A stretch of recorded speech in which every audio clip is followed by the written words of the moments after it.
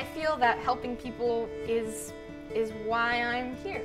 That's really what I'm passionate about, and I think that uh, when I realized that there was this whole global community of people who are dedicating their time and their talents to making STEM more accessible, I really just wanted to learn what it would be like to connect with them.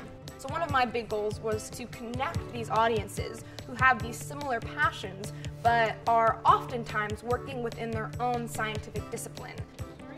The SciAccess Conference was an inaugural event hosted here at Ohio State and the entire goal of the conference was to bring people together around the ideas of science accessibility. So to me this means how we can make science and STEM in general more inclusive of people with disabilities. So we had about 250 people come out, including 60 speakers from around the world to share their expertise in the world of science access.